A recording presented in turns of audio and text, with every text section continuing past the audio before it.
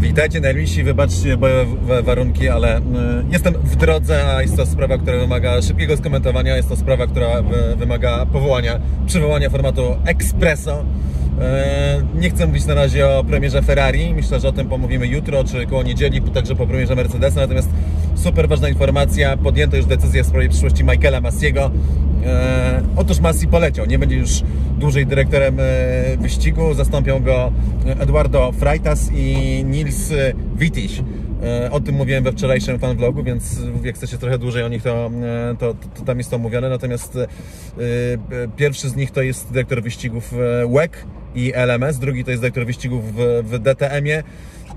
To, co jest bardzo interes- interesujące, to to, że jeżeli oglądaliście wyścigi DTM albo, albo LMS-a, to zapewne odnotowaliście sytuacje, w których e, były podejmowane decyzje sędziowskie, które ewidentnie nie były do końca e, logiczne z tym, co powinno się wydarzyć w wyścigu, e, ale bardzo sprzyjały temu, żeby e, show trwał, tak, żeby na przykład walka o mistrzostwo LMS była dłuższa.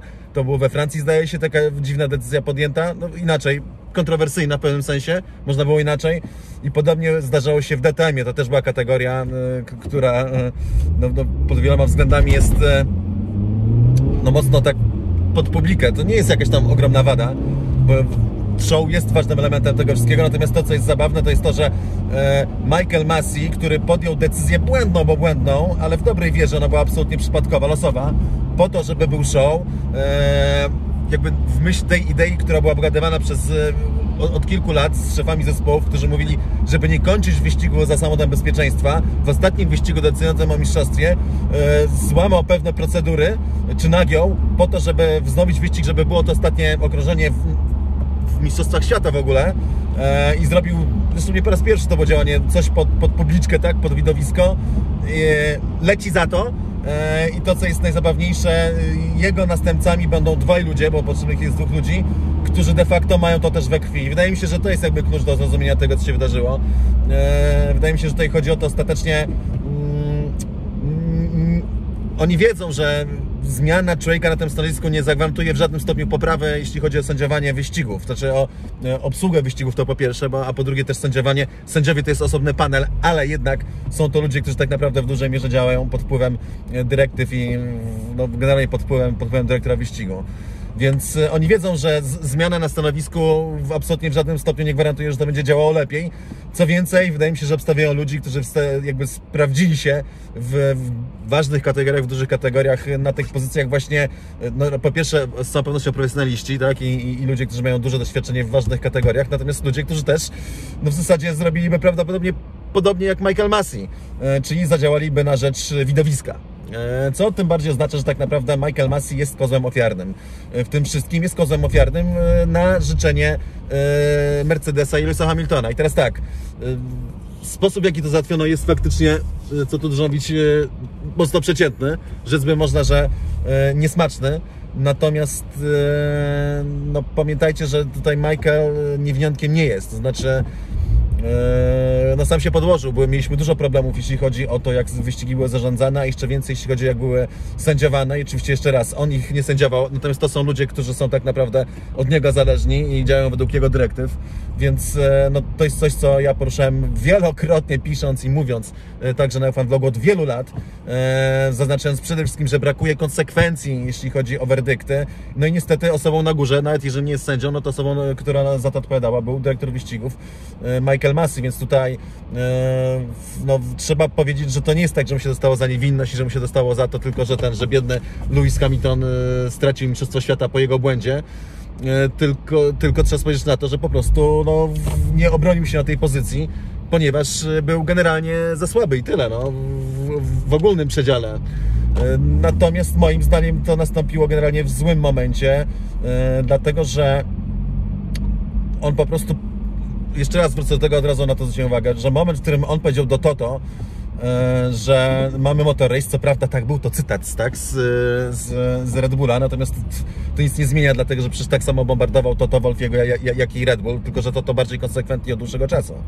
To, co, to, więc tutaj nie ma się co oburzać. Tak, było, był to cytat e, Whitleya z, z, Red Bulla, na, natomiast cały czas było to też takie mm, w pewnym sensie wyjście na niezależność, czyli e, to, co było, bo, bo to wam też mówiłem nieraz, Masi jest człowiekiem bardzo lubianym, bardzo szanowanym, bardzo dużo osób się za nim wstawiało, e, kierowców i nie tylko, mimo tego, że te same osoby, które mówiły, że to nie zostało dobrze rozegrane, chciały, żeby został. E, Masi był bardzo lubiany, był bardzo szanowany, był człowiekiem e, dialogu i był człowiekiem otwartym i ta otwartość go, go zgubiła, więc w momencie, kiedy nagle w końcu po tych latach tak na, na, naprawdę, chociaż to się nasilało w ostatnich, e, szczególnie w tym sezonie, takiego bombardowania i wysłuchiwania szefów e, ekip na czele z Toto Wolfem, który on Toto Wolf rozkręcił całą tę spiralę przemocy, jeśli chodzi o lobowanie dyrektora wyścigu. Więc po, e, w momencie, kiedy on w końcu się jakoś postawił i tym drżącym głosem powiedział, Toto to jest wyścig, tak, we did a motor race, zostaje zwolniony, to jest dokładnie ten moment, kiedy powinien dostać jeszcze szansę, żeby żeby tym dyrektorem wyścigu być i, i się poprawić. Yy, No ale jeszcze raz, za niewinność mu się nie dostało, po prostu, yy, po prostu sam sobie nagrabił i tyle. Yy, Ten jakby...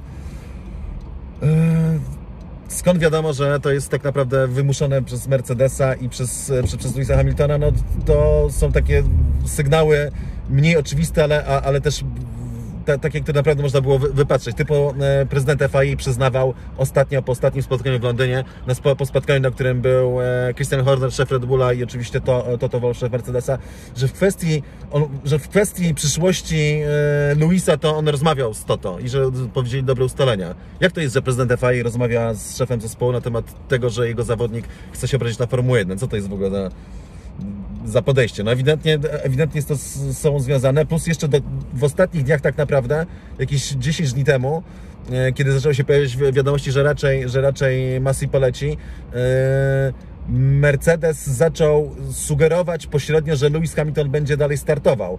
I robiąc to w taki sposób, e, od razu zwróćcie uwagę po tym pierwszym tweetie, żeby wyszło na to, że w ogóle nie było żadnego problemu, że nigdy nie było takiej opcji, żeby Lewis odszedł. Eee, I teraz, kiedy już jest potwierdzone, że na jutrzejszej konferencji, znaczy na jutrzejszej prezentacji e, Mercedesa m, nowego W- W13, e, że będzie Lewis Hamilton, no to no zwróć uwagę, Toto mówił, że ma nadzieję, że Lewis zostanie i nagle Mercedes po prostu daje zdjęcie na Twitterze, nie wiem, 10 dni temu, że nie możemy się doczekać rozpoczęcia sezonu, dając dwa zdjęcia Lewisa Hamiltona. No ewidentnie to było potwierdzenie, takie tylko, żeby bez potwierdzenia, że zostaje. Teraz nagle pojawia się, bez żadnego potwierdzenia, że jednak zostaje, pojawia się informacja, że będzie dostępny na jutrzejszych konferencjach prasowych. No, ewidentnie zadziały się takie rzeczy, które sprawiły, że, że Formuła 1 została ratowana i Lewis Hamilton nie odejdzie. Yy, Pozostaje jeszcze kwestia taka, czy czy warto było, tak? Szaleć, szaleć tak aż do bólu. Czy faktycznie mm, jeden kierowca może być aż tak ważny, żeby podejmowano decyzję e, pod jego żądanie, tak? Po tym, jak został urażony, nie ma się co dziwić, stracił Mistrzostwo Świata, to był naprawdę potężny cios, więc też no, no, no, musimy też Luisa zrozumieć. E, no moi mili, nie, ale nie bądźmy naiwni. To działa tak, jak działa. Hamilton sobie e, jakby wypracował pozycję taką, jaką sobie wypracował. Nie tylko poprzez to, że jest wybi- wybitnym kierowcą, ale także poprzez e, różnego rodzaju zagrania wizerunkowo-polityczne e, i światopoglądowe tak naprawdę, bo to się też od rozwija. I tyle. I to jest coś, co on sobie wypracował. To jest jego, to jest jego osiągnięcie. Ja wiem, że ono nie jest opisane w regulaminie, no ale moi mili, ile rzeczy tak naprawdę, które się dzieją w, tym sporcie jest opisanych w regulaminie, ile rzeczy, które dzieją się w życiu tak naprawdę są opisane przepisami. No to tak po prostu funkcjonuje, więc ostatecznie tutaj no, kolejny taki dla mnie szacunek, nie dla Hamiltona, że, że wypracował so- sobie taką pozycję w Formule 1, że, e, że jest w stanie zwolnić dyrektora wyścigu, który oczywiście, który oczywiście sam się podłożył.